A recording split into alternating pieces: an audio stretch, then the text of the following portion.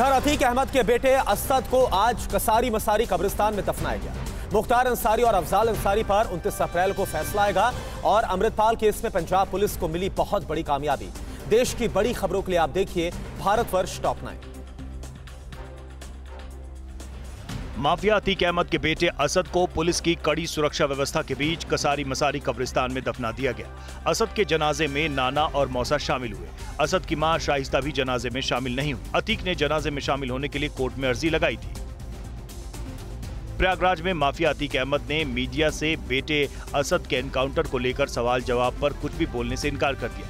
वहीं उसके भाई अशरफ ने असद की मौत पर कहा वो अल्लाह की देन था अल्लाह ने उसे ले लिया। अल्लाह की चीज़ थी अल्लाह ने ले लिया।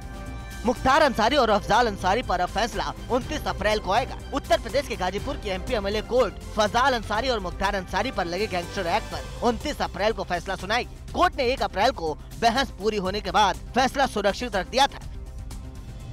क्लाइमेट चेंज पर वर्ल्ड बैंक की ओर से आयोजित एक कार्यक्रम में पीएम मोदी ने कहा, अकेले कॉन्फ्रेंस टेबल से क्लाइमेट चेंज से नहीं लड़ा जा सकता। हमें इसे घर में डिनर टेबल पर लाना होगा। जब खाने की मेज पर चर्चा होगी तो एक ये जन आंदोलन बन जाएगा।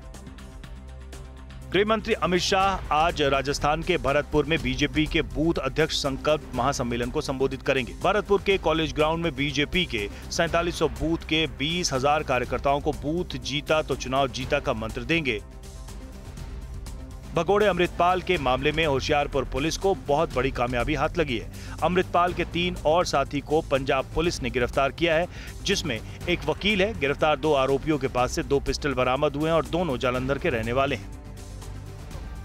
मुंबई पुणे ओल्ड हाईवे पर भीषण सड़क हादसा हो गया है। रायगढ़ ज़िले में यात्रियों को ले जा रही एक बस गहरी खाई में गिरी। बस में सवार 12 लोगों की मौत मौके पर ही हो गई। 30 से ज़्यादा लोग घायल हैं। बस में 40 से ज़्यादा लोग सवार थे। अमरनाथ यात्रा इस साल 1 जुलाई से शुरू होगी, जो 31 अगस्त तक चलेगी। पवित्र गुफा में बाबा बर्फानी के दर्शन के लिए 17 अप्रैल से पंजीकरण शुरू हो जाएगा। पंजीकरण ऑफलाइन और ऑनलाइन दोनों मोड में किया जाएगा। देश में कोरोना की रफ्तार बढ़ती जा रही है। पिछले 24 घंटे में देश में कोरोना के दस नए मामले सामने आए कोरोना संक्रमण के लगातार नए केस आने से एक्टिव केस का आंकड़ा तिरपन हज़ार के पार पहुँच गया है।